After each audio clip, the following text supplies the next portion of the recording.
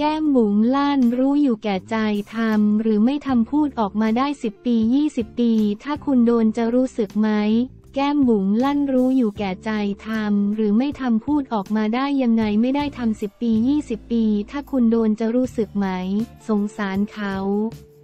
อย่าเอาทัวร์ไปลงเขาซัดคนแห่ถามไม่หยุดจากกรณีแม่ลี่คุณแม่ของแก้มบุ๋มปรียาดาเล่าความเจ็บช้ำรับแค้นที่สุดนางเอกดังที่ไม่ชอบหน้าลูกสาวถึงขั้นแก้มบุ๋มถูกปลดออกจากละคร เสียใจหนักจนต้องไปพบจิตแพทย์อ่านแค้นที่สุด แม่ลี่ต้องพาแก้มบุ๋มพบหมอโรคจิตหลังนางเอกดังสั่งปลดลั่นคุณเกลียดพวกฉันทำไมอ่านขวัญอุสามณีร้องลั่นตอบคนถามปมแก้มบุ๋มถูกสั่งปลดละครหลังแม่ลี่เล่าล่าสุดนางเอกดังไม่ชอบอ่านแม่ลี่คุณแม่แก้มบุ๋มเล่าถึงอ้ำพัชราภาถึงกับยกมือไหว้กลางรายการ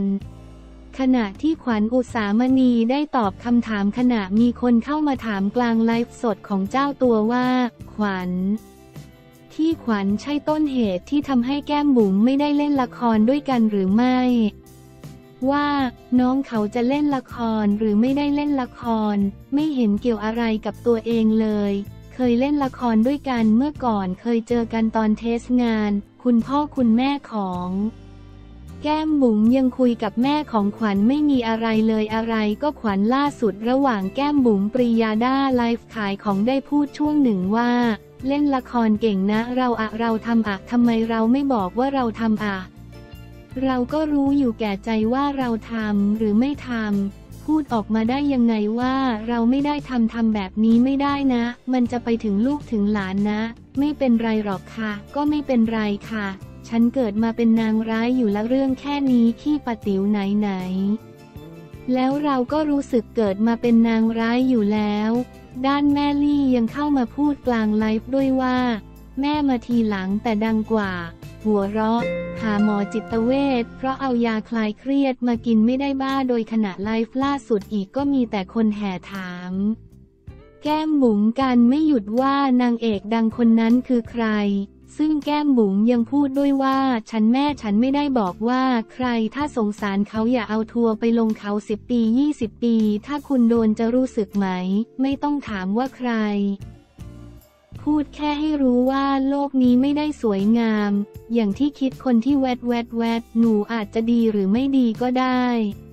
แต่คนที่เข้ามาถามมีมารยาทไหม พูดไปแล้วยังไงเราสงสารใครเราก็ไม่ต้องเอาทัวร์ไปลงใครคนนั้น แค่นั้นจุดเริ่มต้น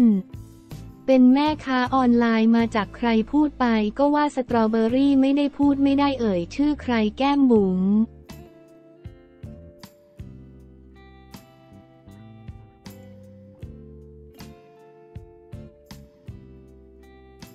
ก้าวไกลแถลงกระชากหน้ากากสอสอรัฐบาลเกาะกลุ่มทุนคว่ำแกม คุ้มครองแรงงานก้าวไกลแถลงกระชากหน้ากากสอสอรัฐบาลหลังคว่ำร่างกงคุ้มครองแรงงาน ฉบับเสียเจ้าตัวยันผลักดันสิทธิแรงงานต่อไป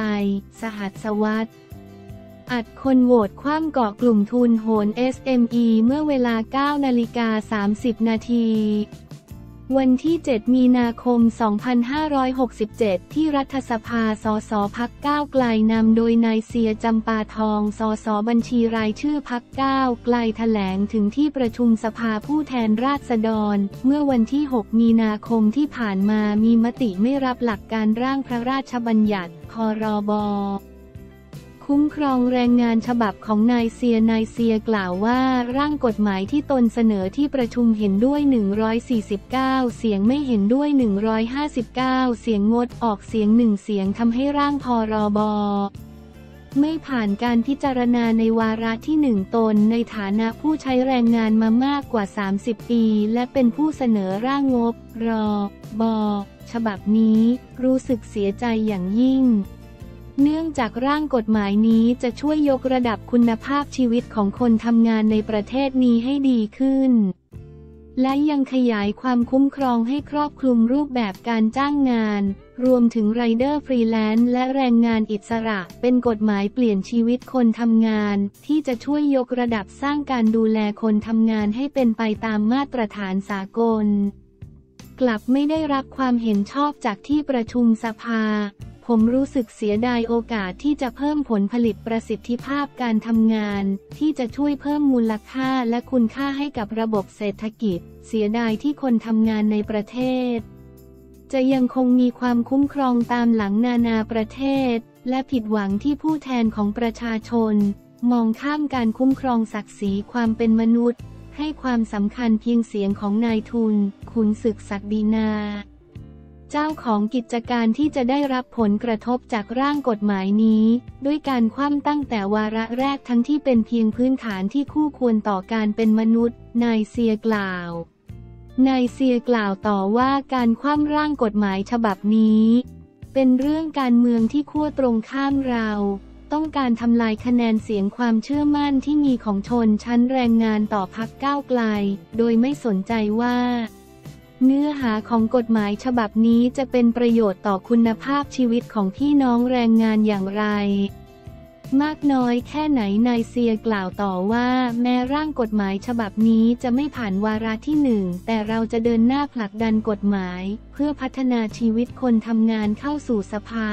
ต่อไปอีกหลายฉบับไม่ว่าจะเป็นพรบแรงงานสัมพันธ์ พรบประกันสังคมที่จะช่วยเพิ่มอำนาจการต่อรอง และคุ้มครองคนทำงานในประเทศนี้ ให้มีคุณภาพชีวิตที่ดีขึ้นตน และสสพักก้าวไกลขอยืนยันต่อประชาชนและผู้ใช้แรงงานว่า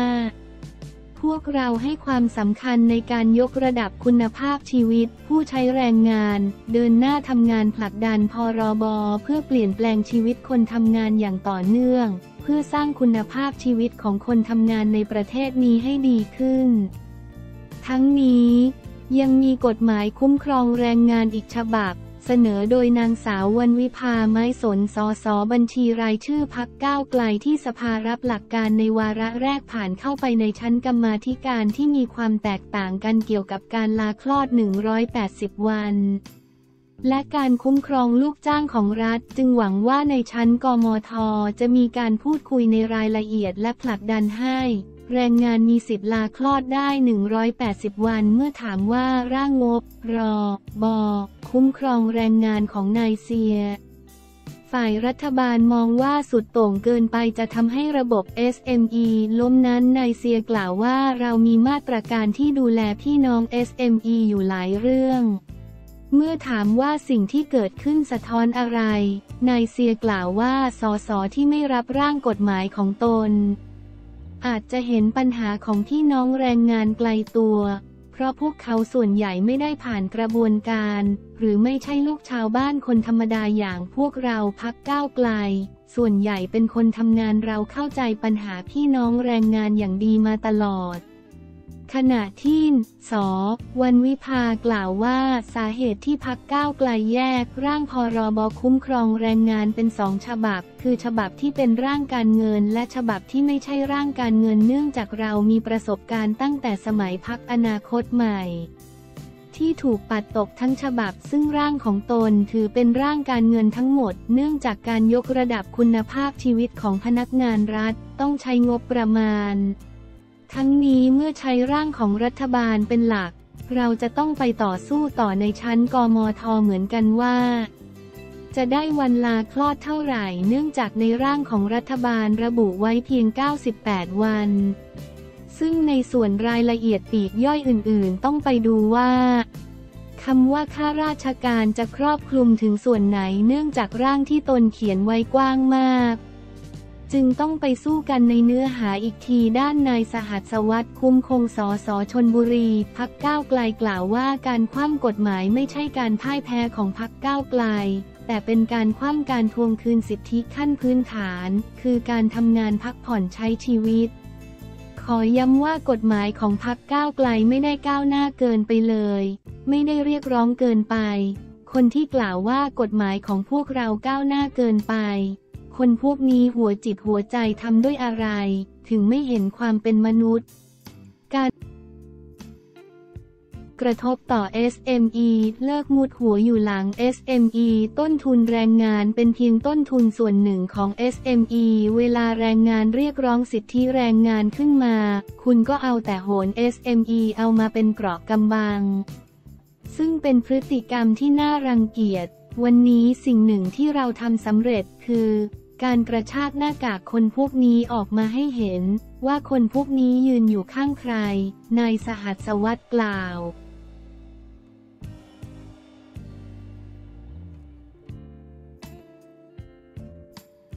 เอาแล้ว หนูรัฐ โพส์โดน ครูภัยบูลทักมาจีบจริงหรือหลอก เอาแล้ว หนูรัฐ โพส์โดน ครูภัยบูลทักมาจีบถามแฟนคลับจริงหรือหลอก ด้านฝ่ายชายโผล่คอมเมนต์ รักนะครับ แล้วเจอกันครับที่รัก ตั้งแต่เลิกรากับอดีตภรรยา กระต่ายพันนิพา แล้วผันตัวมาเป็นหนุ่มโสดก็ดูเหมือนว่า ครูภัยบูลแสงเดือน จะฮอตเป็นพิเศษมีข่าวกับสาวๆอยู่บ่อยไม้ยมกทั้งถูกจับจิ้นกับหมอลำสาว แพรวพราวแสงทอง หลังฝ่ายหญิงโผล่คอมเมนต์อวยพรวันเกิด ด้านครูภัยบูลก็ไม่ได้ออกมาตอบโต้หรือชี้แจงอะไร